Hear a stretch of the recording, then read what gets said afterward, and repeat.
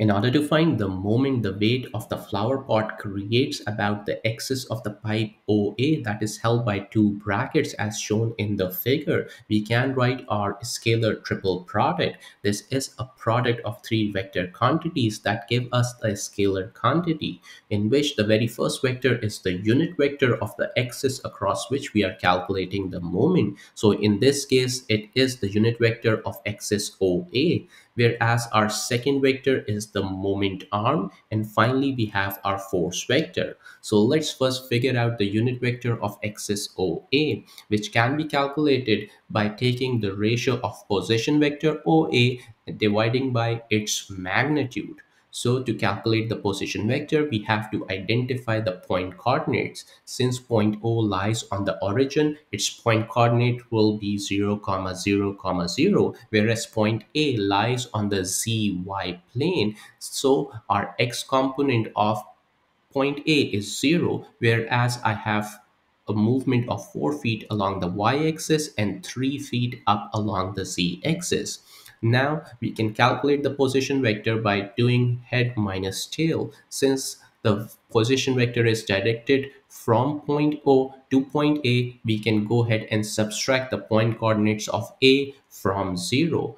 Dividing that with the magnitude of the position vector give us our unit vector. In this case, it is coming as 4 over 5j plus 3 over 5k. Now, once we have the unit vector, let's go ahead and figure out the position vector. Now, for the position vector, it can start from any point on the axis across which we are calculating the moment and its head will lie on any point on the line of action of force. So in this case, I can start my position vector from point A and head it towards the line of action of the force at point B. This will be our moment arm. So let's go ahead and figure out what will be this value of moment arm. To do that, we have to identify the point coordinates of B. Now here we have a pipe that is tilted at an angle of 30 degrees with respect to our XY plane having a length of 3 feet. We can project that thing along our XY plane by taking the cos 30 function whereas if we take the sine 30 function it will project it along the Z axis. Once we have that the total length from point O all the way towards the flower pot will be the sum of 4 feet plus 3 cos 30 now, in order to project it this whole length along the x-axis, we can take the cos 60 function. This will be the x component of point B. Next, we can take the sine 60 function of the same length, and that will be the y component of point B. Finally, the z component we have already calculated, that is 3 sine 30. Now, once we have the point coordinates of B, we can go ahead and write our moment arm. That is a position vector from O to B. That is any point on the axis across which we are calculating the moment. That's why we are picking point O.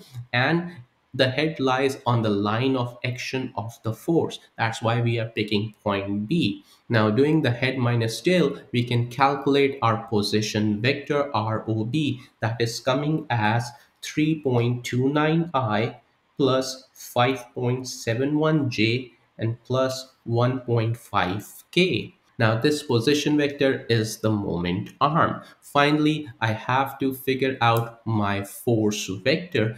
In this case, since the weight is acting vertically downward, so our force vector will be equals to negative 50k in Cartesian vector form. Once we have all the three vectors, let's go ahead and do our scalar triple product. Now this triple scalar product is equals to the determinant in which the first row is basically the components of the first vector we have. In this case, since it is the unit vector about OA axis, so our first row will become 0, 4 over 5 and 3 over 5.